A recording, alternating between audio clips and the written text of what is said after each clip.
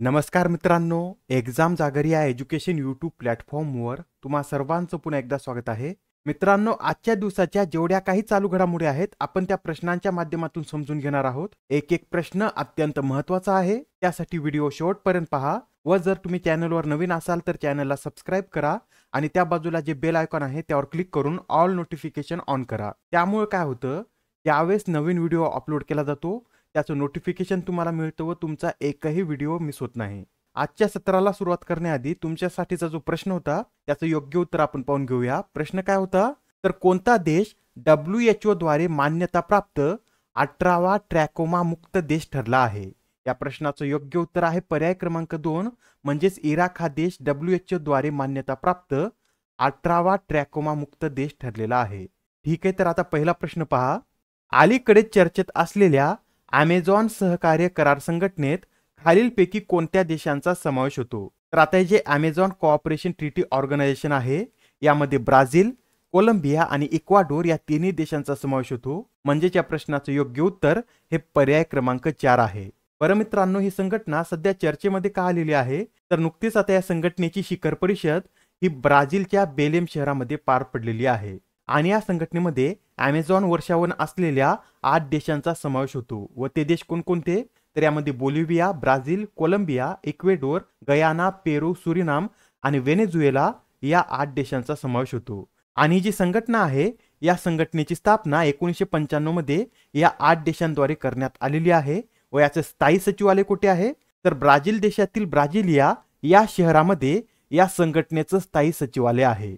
प्रश्न क्रमांक दुसरा पहा. यात काय विचारलेलं आहे? तर कोणत्या देशाने ब्रिक्स स्टार्टअप फोरम लॉन्च करण्याची घोषणा केली आहे? तर अशी घोषणा आपल्या भारतानं केलेली आहे. आणि हे स्टार्टअप फोरम सुरू करण्यामागचा उद्देश काय आहे?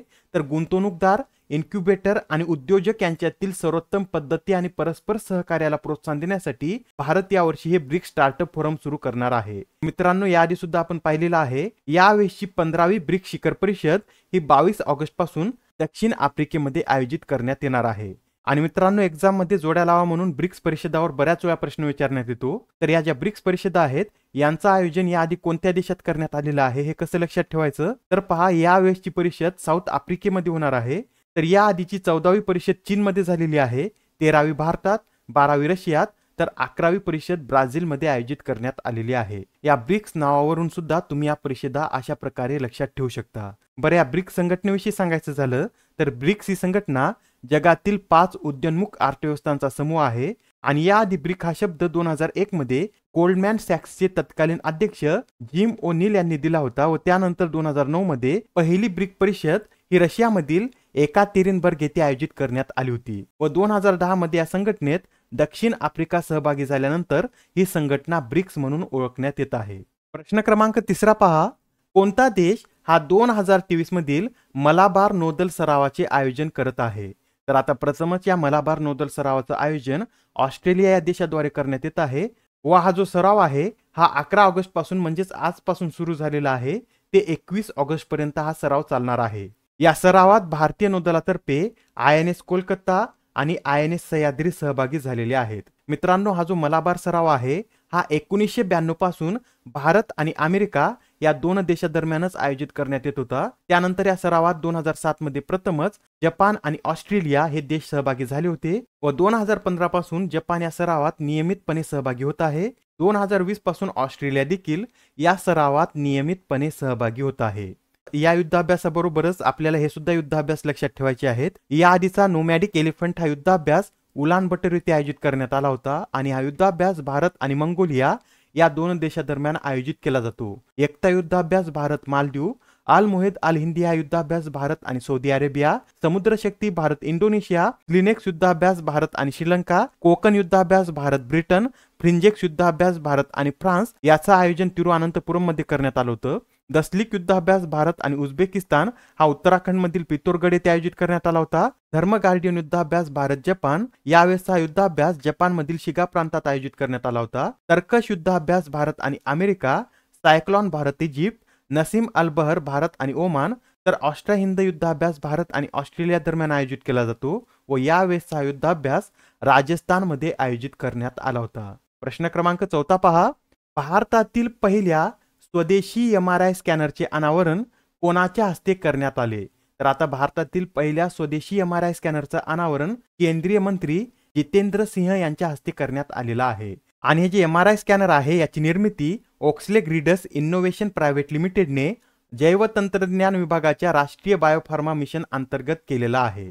व येथे एम आर आयचा फुल फॉर्म सुद्धा नोट करून घ्या. एम आर आय म्हणजे एम आर आय म्हणजे मॅग्नेटिक रिझोनेन्स इमेजिंग असं याचा फुल फॉर्म आहे. प्रश्न क्रमांक पाचवा पहा.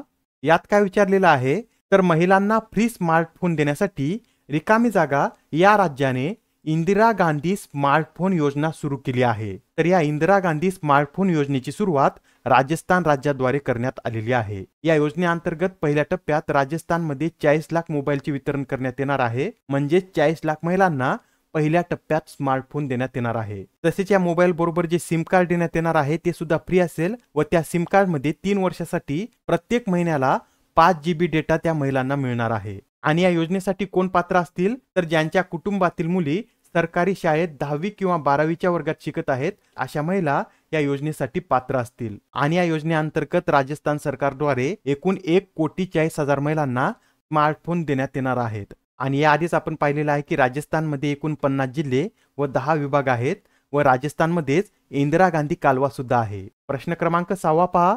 आता नुकताच डब्ल्यू द्वारे जागतिक व्यापार सांख्यिकी पुनरावलोकन हा अहवाल प्रकाशित करण्यात आलेला आहे व या अहवालातील माहितीनुसार जागतिक स्तरावर मर्चेंडाईज एक्सपोर्ट्समध्ये भारत कितव्या स्थानी आहे? अत्यंत महत्त्वाचा प्रश्न आहे पहा. तर जागतिक स्तरावर मर्चेंडाईज एक्सपोर्ट्समध्ये भारत हा अठराव्या क्रमांकावर आहे. जर आपण मर्चंडाईज इम्पोर्टचा विचार केला तर यामध्ये भारत नवव्या क्रमांकावर आहे आणि या मर्चंडाईज ट्रेड दोन हजार बावीसनुसार पहिल्या तीन निर्यातदार देशामध्ये चीन युएसए आणि जर्मनी या देशांचा क्रमांक लागतो. तसेच या अहवालातील माहितीनुसार वाणिज्यिक सेवांच्या निर्यातीत भारत हा सातव्या क्रमांकावर आहे तर वाणिज्यिक सेवांच्या आयातीत भारत हा नवव्या क्रमांकावर आहे. आता इथे डब्ल्यू या संस्थेचा उल्लेख आलेला आहे. तर डब्ल्यू टी ओ म्हणजे वर्ल्ड ट्रेड ऑर्गनायझेशन याची स्थापना एक जानेवारी एकोणीसशे पंच्याण्णवमध्ये झालेली आहे व या संघटनेचा भारत हा संस्थापक देश आहे. याचं मुख्यालय कुठे आहे? तर स्वित्झर्लंड मधील जिनेवा येथे त्याचं मुख्यालय आहे. एकशे चौसष्ट देश याचे सदस्य आहेत आणि सध्या याचे महासंचालक कोण आहेत? तर अँगोजी ओकोन्जो इवेला हे या संघटनेचे महासंचालक आहेत. नेक्स्ट क्वेश्चन पहा. भारतीय राष्ट्रीय महामार्ग प्राधिकरणाने महामार्ग वापरकर्त्यांसाठी रिकामी जागा हे नागरिक केंद्रित एकात्मिक मोबाईल ॲप लॉन्च केला आहे. तर नुकतेच आता भारतीय राष्ट्रीय महामार्ग प्राधिकरणाने नागरिकांसाठी राजमार्ग यात्रा हे मोबाईल ॲप लॉन्च केलेलं आहे. कोणता ॲप आहे? तर या ॲपला राजमार्ग यात्रा असं नाव देण्यात आलेलं आहे. बरं आता हे जे भारतीय राष्ट्रीय महामार्ग प्राधिकरण आहे याची स्थापना कधी करण्यात आली होती?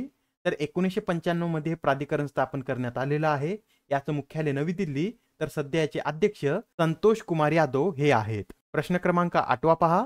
अलीकडेच निधन झालेले विल्यम फ्रिटकिन हे कोणत्या क्षेत्राशी संबंधित होते? तर आता हे जे विल्यम फ्रिटकिन आहेत हे एक अमेरिकन दिग्दर्शक होते. व नुकतंच आता त्यांचं वयाच्या सत्याऐंशीव्या वर्षी निधन झालेलं आहे. आणि त्यांनी एकोणीसशे एकाहत्तरमध्ये दिग्दर्शित केलेल्या द फ्रेंच कनेक्शन या चित्रपटाला ऑस्कर पुरस्कारामध्ये एकूण पाच ऑस्कर मिळाले होते. प्रश्न क्रमांक नववा पहा. आता हे जे हुन मानेट आहेत हे कोणत्या देशाचे नवीन पंतप्रधान बनले आहेत? तर हुन मानेट हे कंबोडिया या देशाचे नवीन पंतप्रधान बनलेले आहेत. व नुकतेच कंबोडियाच्या राजाने हुन मानेट यांची देशाचे नवीन पंतप्रधान म्हणून निवड केलेली आहे. हे जे हुन मानेट आहेत हे पुढील पाच वर्षासाठी कंबोडियाचे पंतप्रधान असतील. व हुन मानेट यांच्या आधी त्यांचे वडीलच कंबोडियाचे पंतप्रधान म्हणून कार्यरत होते. त्यांनी जवळपास अडोतीस वर्ष कंबोडियाचे पंतप्रधान म्हणून कार्य केलेलं आहे. व ते जगातील सर्वात जास्त काळ पंतप्रधान पद भूषवणारे व्यक्ती देखील आहेत. बरं आता हा जो कंबोडिया देश आहे याची राजधानी काय आहे? तर नोम पेन ही कंबोडियाची राजधानी आहे आणि रियल हे कंबोडियाचं चलन आहे. आता शेवटचा प्रश्न पहा. दरवर्षी जागतिक जैव इंधन दिन कधी साजरा केला जातो? तर जागतिक जैव इंधन दिनाचं आयोजन दहा ऑगस्ट रोजी रुडॉल्फ डिजेल यांच्या स्मरणार्थ केलं जातं. आणि हा जो दिवस आहे हा दोन हजार पंधरा पासून पेट्रोलियम आणि नैसर्गिक वायू मंत्रालयाद्वारे साजरा करण्यात येत आहे. मित्रांनो आता जे रुडॉल्फ डिझेल आहेत यांनी डिझेल इंजिन बनवलेलं आहे आणि त्यांनी आठ ऑगस्ट अठराशे त्र्याण्णव रोजी हे इंजिन चालवण्यासाठी शेंगदाणा तेलाचा उपयोग केला होता. कोणत्या तेलाचा उपयोग केला होता? तर लक्षात ठेवा त्यांनी शेंगदाणा तेलाचा उपयोग केला होता. यासहच हे सुद्धा नोट करून घ्या. दरवर्षी दहा ऑगस्ट रोजी जागतिक सिंह दिन सुद्धा साजरा केला जातो. आजच्या सत्रामधील तुमच्यासाठीचा प्रश्न पहा कोणत्या देशाने जगातील पहिल्या पीपीडी टॅबलेटला मान्यता दिली आहे? आता या प्रश्नाचं उत्तर कमेंटमध्ये देण्याचा प्रयत्न करा. उत्तर चुकलं तरी काय हरकत नाही कारण ज्यावेळेस तुम्हाला या प्रश्नाचं योग्य उत्तर माहीत होईल त्यावेळेस हा प्रश्न तुमच्या दीर्घकाळापर्यंत लक्षात राहतो. तर आता पुढच्या सत्रामध्ये पुन्हा भेटूया. धन्यवाद.